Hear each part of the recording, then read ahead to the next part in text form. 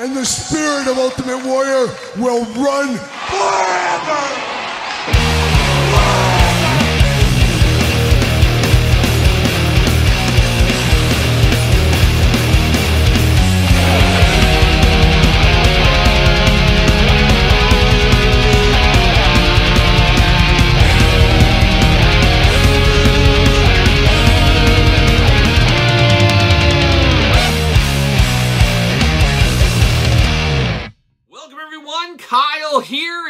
Saturday. And you know what that means? It's time for all the toy news, action figure news of the week that interested me. That hopefully interests you in a big week of varied action figure news this week with a lot of different toy lines to talk about. So let's dive into it, let's get into it. But first, of course, a little housekeeping Patreon giveaway for the month of February. February coming to a close really quick. It's one of them short months, but I think leap year is this year.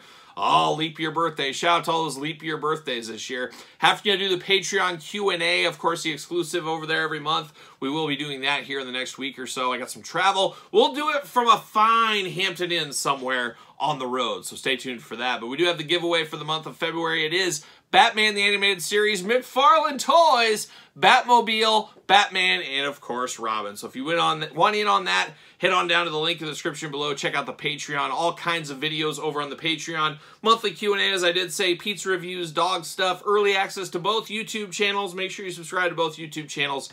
Of course, a lot going on on the Patreon every single day. And I keep the fire alive. The old Jakks Classic Superstars book getting closer and closer to coming out. There it is, of course. Wrote this whole book. Oh my gosh. Hours and hours of labor on this one. A labor of love, as they do say. But we should have this for sale here in the next couple of weeks. But got to keep talking about it. Keep it top of mind.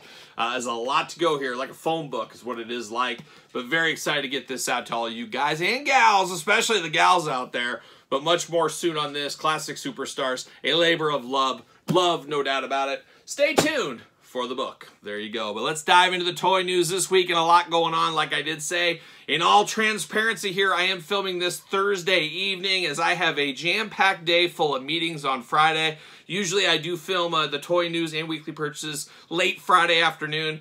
This week I have meetings all the way up to like 6 o'clock at night. Then, of course, my wife and kids will probably want to go out to eat. And before you know it, time gets away from you. But what is time? And if you don't know what it is, how does it get away from you? Deep thoughts here at the table today. But I am filming this Thursday, so any action figure news that happens on Friday, we'll have to talk about it next week. That's the way it's going to go right there. But let's dive in here. Let's start off with the news. And let's start off hot with CM Punk. It's the winner of Punk, of course leaves AEW, comes to WWE, gets injured, has a heels and faces figure from last week. Well, this week, AEW and the Jazwares team, they're not done with Punk. They're not done. I did put it in the recap of AEW Unmatched Series 8. Check out that review on the channel. I recapped that entire line, and I did say, hey, last time in the line, CM Punk Ring of Honor. Well, remember, I filmed them ahead for Patreon, so Patreon had that thing for a few days before it went to traditional YouTube. But hey, here we are, another CM Punk. And it is on a site called Collect Forever. Never heard of this in my entire life.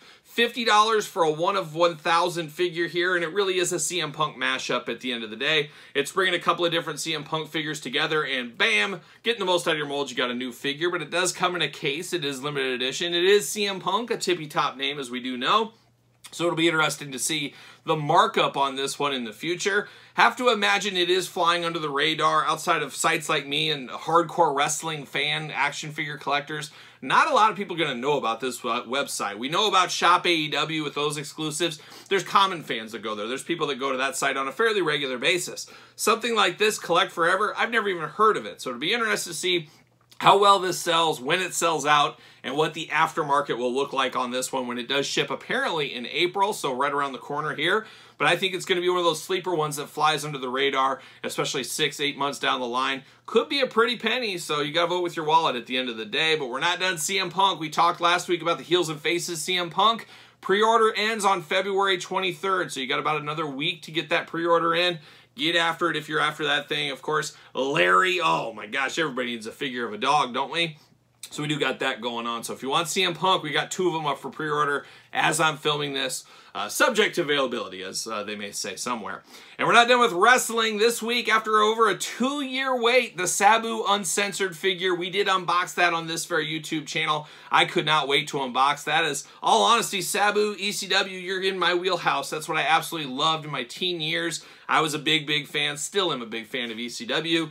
Very excited to get the Sabu figure. Now, of course, it was originally a Cella Toys figure. It later transitioned over to Epic Toys. Epic Toys kind of left holding the bag here. And by the results of things, a lot of broken figures. So many broken figures. In fact, they've stopped production, stopped uh, all the cases, said, hey, we're not sending any of these out. After Chinese New Year is over, they're going to remake those figures. So you got to give it up to Epic Toys for stepping in and fixing the problem. But at the end of the day, they have their name on it. It is technically their fault. It's no longer Cella Toys' fault. They could have said, hey, this is a Cella Toy thing. We're refunding all your money. We're moving on from the Sabu project. They saw it through. They put their stamp on it, and they're doing the right thing on the back end there. For me, in my review, it did not break. So check out the review if you want to. Got to say though, the Sabu figure, a lot to be desired on that wear. On that, it is cool to get a Sabu figure. I'm very happy to get a Sabu figure. It just leaves a little bit to be desired. I mean, it looks like he's transitioning into a werewolf, as I did say. Check out the review, like I did say as well.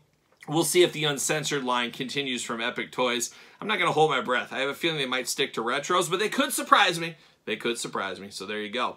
But we're not done with retros. The retro war heating up, of course, Super Bowl Sunday. Well, top of the mind was not the big game, the not the Super Bowl game. It was all about Aldo Montoya. Old Justin Credible coming in hot with grapplers and gimmicks. Of course, Hastel Toys uh, announcing a retro with uh, Justin Credible himself, or uh, as I should say, Aldo Montoya, the Portuguese man of war himself with the craft singles all over his face. A funny video there for sure, but he is coming to grapplers and gimmicks in retro form. And then, not to be outdone, the Super Bowl wasn't the only big game. Zombie Sailor, of course, did post, we have Aldo Montoya too. He's coming to the Heels and Faces line. So how many Aldo Montoyas do you need? I don't know. A controversial character, if there ever was one in the you know, Twitter X space, of course. Sounds like taking money from people and not giving the goods. So there's a little bit of controversy with him. But dare I say, maybe even a little bit of conspiracy. I wonder if they're watching your every move. Cell phones, internet, surveillance. Think about it. Post What's that? Oh, I got a second confirmation on that from Todd McFarlane on the couch and Jesse Ventura. No conspiracy with Aldo Montoya. Just controversy. No conspiracy, just controversy. You heard it here from the couch. Thanks, Todd. We'll talk about you later. Of course. Of course we will. Wiggling his toes over there. Toe wiggler. All day long, McFarlane. Are you kidding me? Gotta love him. Uh, but we got him coming in two different directions. So if you're a Justin Credible fan, man, it's a renaissance time. A renaissance time for you. But we weren't done. Zombie Sailor also announced Bob Sparkplug Holly. Oh my gosh. Fire up your engines, boys. We got Bob Sparky Plug coming to the Retro Heels and Faces line. And not to be outdone, Rush Collectibles still uh, poking the flames, poking the fires. It's going to be interesting to see how it works out for them. But Wildcat Chris Harris, Cowboy James Storm, they did show the carded figures of those. It'll be interesting to see who dives in on round two of Rush Collectibles. Uh, a tough go for that company for sure. A lot of it brought on themselves, as we do know. It'll be interesting to see where it all shakes out with these two here. I guess we'll stay tuned for all that as well.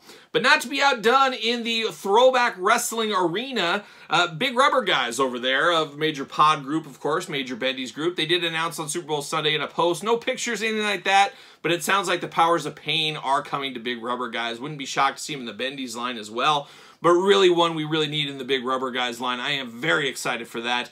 Big jacked up dudes with face paint, man, sign me up all day long. Give me some of that. You too, Todd? Oh, Todd, my man. My man on the couch over there. He's down for some big dudes with face paint as well. We're all in. So Big Rubber Guys, Powers of Pain, bring it on. We're ready for that. And not to be outdone in the retro line, our friends over at Power Town, of course, Remco.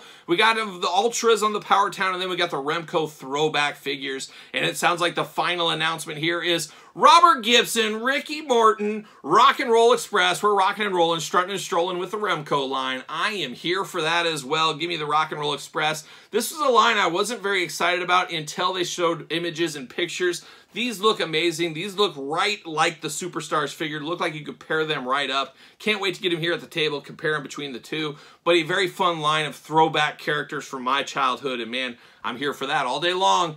Yep, twice on Sunday, Todd, twice on Sunday. So we got those coming as well. But now we turn our attention over from some non wrestling things going on in the action figure world. Friday, tomorrow, as I'm filming this, remember this, it could be a total meltdown, it could be a disaster, but we'll see what happens. But we got Rock-On. We knew he was coming last week. Friday is the announcement for Rock-On. Uh, it'll be interesting to see how that one goes. Will it sell out right away? Is it going to be really popular? $20 price point feels really nice in this day and age. I think it's a limit of three. That's usually what it is. We'll see what happens. Hopefully all goes well for all of us that want a Rock-On figure. I need two, mint on card and loose, you know me. So, But not done with He-Man Origins news. There was a little bit of a leaked listing. I'm not sure if it's real. It could be a conspiracy, Jesse. Yeah, we won't roll the tape.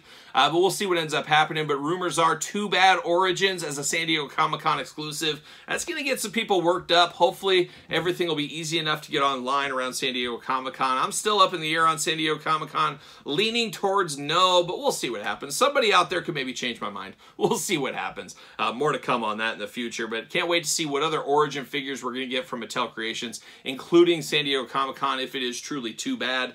Uh, it'd be too bad for some people out there. I know they don't like those exclusives, so we'll see what happens. Stay tuned. Stay tuned. Uh, moving over to Marvel Legends, there was an overseas uh, toy convention, kind of uh, entertainment convention, we'll call it, and they did show off a brand new Captain America figure to be announced later where exactly that is going, but we did see that. But the Marvel Legends team, they've been dormant. We talked about it last week. Really feels like the Classified Series brand is getting all the love from the Marvel Legends, or I should say the Hasbro offices. Well, Marvel Legends getting their time in the sun again next week, February 20. It looks like we'll have a new live stream. Have to imagine we'll see some pre-orders. Have to imagine we'll see some new figures. We'll stay tuned. We'll report on that next week as well, so stay tuned to that. And then how about the 70th anniversary of the creature from the Black Lagoon? I can't believe it. It felt like it was just like 68 years ago, but of course long before I was alive, I think, if I do the math correctly. Steiner math, as some may say. But there's a new Mondo creature going up. I'm really on the fence about this one. It's a timed edition, so you got about a week to pre-order this one. It's just kind of one of those stylistic, artistic ones. I love the creature. I want to collect all things creature, but I just don't know if this will work in my collection, especially at the price point. When it's over a $100, you got to kind of look yourself in the mirror a little bit, and that's what I'm doing. And as of right now, looks to be a pass from me, but I do love creature stuff, so I want to talk about that. We actually unboxed the NECA Creature Fright Crate exclusive on the channel this week. Check that out if you did miss that one. It's kind of an homage, as they say, to the, of course, uh, Burger King Kids Club back in the day. One of the greatest kids clubs of all time, I'm sure. What? Todd says it's not homage. He said it's an homage. I said, no, nah, it's homage. It's homage. Tomato, tomato, Todd. Uh, he said he'll agree to that. He gave me the thumbs up. So we do got the Mondo creature, but we're not done with Universal Monster talk as NECA finally did pre put up for pre-order this week on the NECA store. Of course, NECA online. Uh, the Bride of Frankenstein with Frankenstein's chair, so a little bit of deluxe pack there. New head sculpt, new Frankenstein. Sign me up all day long and twice on Sunday once again. But don't sign my dad up. My dad said hard pass. I couldn't believe it. I called him up. I said, Dad, you won't believe it. And he said, hard pass. Hard pass. So I don't know what's going on with that guy. Somebody needs to do a welfare check over there. Uh, hard pass on him. Hard yes on me for the Bride of Frankenstein. Look to me to do that review here at the channel. We'll see if I get that neighbor I've been talking about. He lives across street. Maybe he knows something. I'm hoping he could maybe bring some of that fatherly advice to the table that is sorely missing. Let's be honest. It's sorely missing right now. Uh, we'll see if he can come through with that one. So we'll see. But Bride of Frankenstein, if you're looking for it, head over to NECA right now. Get your pre-order in. June release. Perfect for Father's Day. Perfect for my birthday. Oh, there it is. Top of the wish list right there. Now we got Cliff Burton. We talked about this. This was breaking news last Friday. Well, Saturday, of course, Cliff Burton Day, I guess we'll call it with his birthday. They did announce the full packaging design and pretty wild packaging design for Cliff Burton. A pretty wild looking Ultimate here for Cliff Burton as well. But I'm here for it. I like the wild colors. I like some of the crazy effect pieces on the base. I like the ring-like hands. So it'll be an interesting one. Of course, day one pre-order for me. I love my heavy metal, especially heavy metal bands I do love. Love to get stuff like this, so I'm all in on that. But we're not done. Speaking, of course, of Super 7, they did announce reaction figures this week of Motley Crue. How about that? Mick Mars included. Sorry, good friend of the channel, John 5. He was not part of this one. Maybe a future release down the road. We'll see what ends up happening. The classic crew lineup in reaction form. Maybe one day that leads to Ultimates, but give me the Rob Halford Ultimate first before you get Motley Crue. At least for me, that's what I want. But we do got that one coming. And then totally out of left field this uh, week, we had some leaks, and we never like to talk too much about leaks, but this is one that really went everywhere. Everybody did see this one. It looks like the Mad Marauders are coming in hot, of course, led by Sergeant Slaughter. Uh, we got Sergeant Slaughter Slaughter repaint there in those blue colors. Man, brings me back to my childhood. That was the way I got a few of those guys. Have to imagine we'll see all those guys. We did see Barbecue as the first one. Wasn't he, was he a Target exclusive? I can't even remember. It's been about a year or so. Once again, what is time? But we saw Barbecue. We got Sergeant Slaughter coming. Low Light and Spirit will be a two-pack. And no Freedom involved this time. It's like Nyal, a different bird. Oh, what happened to Freedom? Did he get killed? Did he get eaten by something? Did he die of old age? Uh, inquiring minds want to know. I have to imagine Footloose, once we get a regular Footloose, we'll see a repaint of Footloose, easy for me to say. Everybody Footloose, we know how that goes. Uh, but we'll see him in this line. Wouldn't be shocked to see a repaint of Mutt and Junkyard as well as a part of this line. Some of the OG Sergeant Slaughter Marauders team. Uh, I'm here for that though. I love these Joe sub teams. It's a good repaint, easy reuse. I just think you got to put some time in between these things. And it's been a while. It's probably been two years since that Sergeant Slaughter, so it makes sense to get a new slaughter out to the people. To the people. That's what I'm talking about. So Sergeant Slaughter, the Mad Marauders, leaked. Not sure where it's going to go. Is it going to go everywhere? Is it going to be Walmart only? Is it going to be Target only? Fan channel only? We'll have to find out and wait and see what happens. I would love it if it was fan channel only. I think that'd make a lot of people happy. We'll see where that goes from there. But now, Todd, it's time to give you the floor here. Uh, you can perk your ears up, pay deep attention, and correct me if I'm wrong. How about that? And wiggle your toes if you agree. Oh, we got a full-on 10-toe wiggle. There it is. McFarlane this week coming in extra hot with my Kenner Superpowers needs. Really feeling like I'm closing up those gaps in that Kenner Superpowers collection. I want those in McFarlane style, and we're getting a little bit of that with Hal Jordan's Green Lantern this week. Absolutely love the looks of that one. Aquaman looking good, looking a little iffy in the hair there. I'm not exactly sure. We'll see how it looks in hand. And then finally, of course, you got to have Batman, right? Yeah, Todd's two, two thumbs up. Got to have Batman at any time you can. And it almost looks head sculpt wise, it reminds me of a young Adam West. So I don't know what's going on there. But apparently you buy all three of these and it has like a digital uh, NFT type thing with it. I don't know anything about that stuff. But if you like the digital aspect of stuff, you got an opportunity in there for that. So take it or leave it, I guess. But man, I'm here for that Hal Jordan. I'm here for that Aquaman. And by default, I'll pick up Batman. I'll pick up Batman. I'll do that. So we got that going on this week. And then Todd said, big news. Don't forget the business news. He said, got to throw the business news in here. It sounds like uh, McFarlane signed with Universal Studios. So could we see Universal Monsters from McFarlane? I don't think so, but we got to get Universal Studio stuff. That could be Movie Maniac stuff.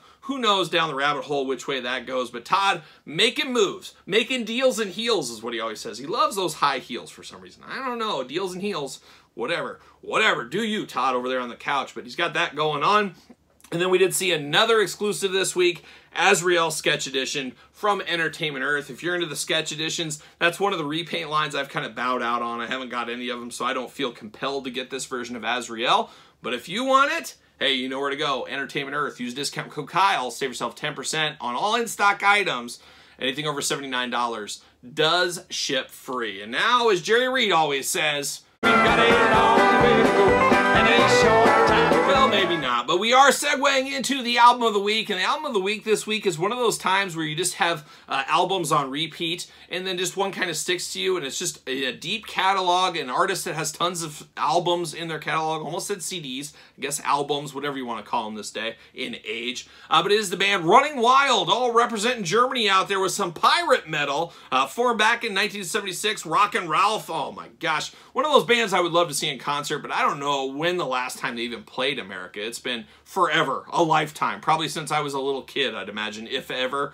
Uh, but one of Germany's uh, most undersung heroes, because when you think of German metal, you think of uh, the hardcore stuff, you think of Accept, you think of the Kreator, maybe the Scorpions, uh, but Running Wild kind of flies under the radar there. It is a little bit niche metal, but a very good albums, very good albums. Many, many good ones out there. Really recommend starting the beginning, but there's some good stuff uh, in the later days for Running Wild. Their last album was really good, but the album, for whatever reason, spun in, and I ended up listening to the whole thing, was the Masquerade album. Masquerade, probably my favorite song on that album, but like I said, a deep metal cut and a deep cut into the Running Wild catalog, and sometimes you gotta explore some music you don't know about, and there's so many great metal bands that don't get the props they deserve. Not everybody's Black Sabbath, not everybody's Metallica, not everybody's Judas Priest and Iron Maiden, not everybody's Motorhead, but there are bands like Running Wild out there that are definitely worth a listen, at least greatest hits, I would say. Check it out. You might find something you like there. You never do know. So Running Wild, Masquerade, album of the week this week. But what about you guys out there?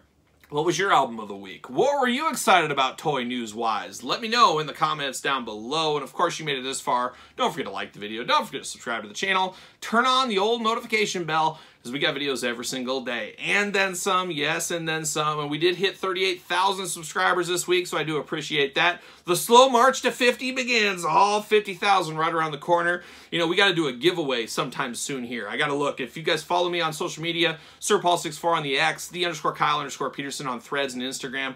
One of those ways of social media, we're going to do a giveaway sometime soon, so stay tuned to that. Be something easy. You know, you got to subscribe to me or something and retweet or tag somebody. We'll figure something out, but I got a few things we could give away. So we haven't done one of those for everyone to be eligible in a while. It's time to do that again.